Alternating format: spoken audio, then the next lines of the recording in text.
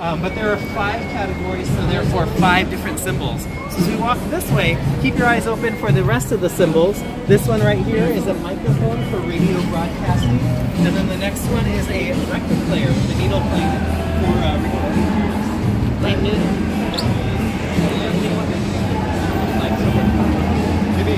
It's a TV, that's right, with the out. So that's the fourth category.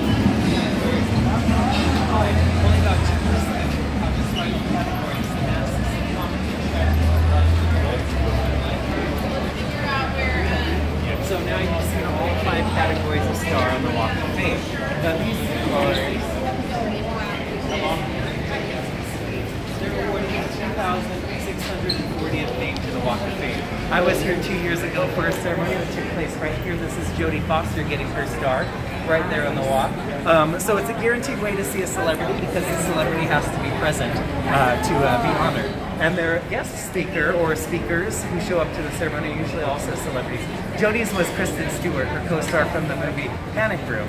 Today, Cedric the Entertainer is getting his star, and his guest speakers are Magic Johnson and uh, George Lopez. What time is that? Uh, it's happening right now. It should be done in about, oh, it's probably just ended right now at 12.15 um, down the street. I'll tell you a little bit more about that ceremony later on. In fact, we'll be referring back to the Walk of Fame several times during the tour um, since we'll be following it down a couple blocks and uh, we'll keep uh, adding to the uh, Walk of Fame knowledge as we continue.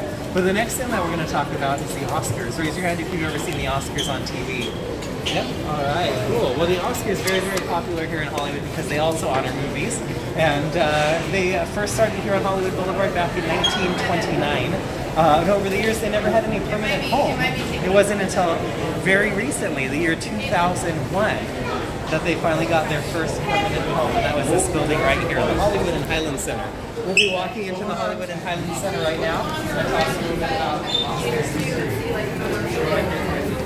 and talk a little bit about No jumping. How many of you are using a Los Angeles go kart today? Raise your hand. All right, a lot of you. So pay attention during the tour. I'm going to show you all the places you can use your Los Angeles go kart uh, today. And the Kodak Theater is one of them. If anybody's shopping with any old materials, it might say the Dolby Theater. Or it's the Dolby Theater thing. Sorry, the Kodak Theater is the old name. So um, the Oh. Dolby Theater is the, the theater I'm talking about. So the Dolby Theater is on kart. Originally was called the Kodak Theater back in 2000. So for those of you who watch the Oscars on TV, starts a big red carpet arrival ceremony. Everybody gets out and is interviewed. That happens out on Hollywood Boulevard. We'll see that a little bit later on the tour. But this area here through the window is where the red carpet makes a right hand turn from the street and follows those white colored Uh, walks all the way down this walkway here. This is called the Awards Walk. The Awards Walk is named after this glass that we have on my side. This uh, years that every Oscar ceremony has taken place from 1957 all the way through to 2071. So the turnaround lasts as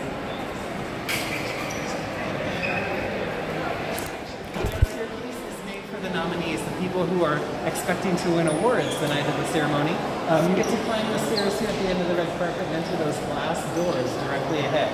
Uh, those are for the nominees only. Everybody else has to go around. They don't get to climb the grand staircase. They have to enter on a different level. There's four different levels to enter this theater from. And each of the steps was made specifically for the ladies in the floor length gowns and high shoes. It's very difficult to climb stairs just like this, so they made each of the steps about an inch and a half shorter than a regular stair step, so that it's easier to climb and you'll never see one of these actresses trip and fall over her dress going up to the Dolby Theater. Uh, so that is a good thing. Um, they also installed all these black bars as permanent fixtures to the uh, the shopping center, but those were made for Oscar night. They, will place uh, really bright LED uh, light fixtures to shine down brightly on the red carpet and make sure that everybody can see.